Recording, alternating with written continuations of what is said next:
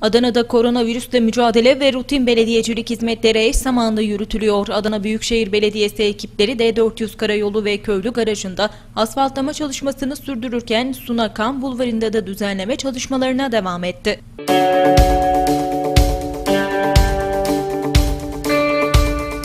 Adana Büyükşehir Belediyesi ekipleri D400 karayolundaki çalışmalarını sürdürürken köylü garajı olarak bilinen noktada da yol çalışması gerçekleştiriliyor. Köylü garajında yıllardır yamalama yöntemiyle kat kat olan asfalt frez uygulamasıyla sökülüp yerine yeni asfalt dökülüyor.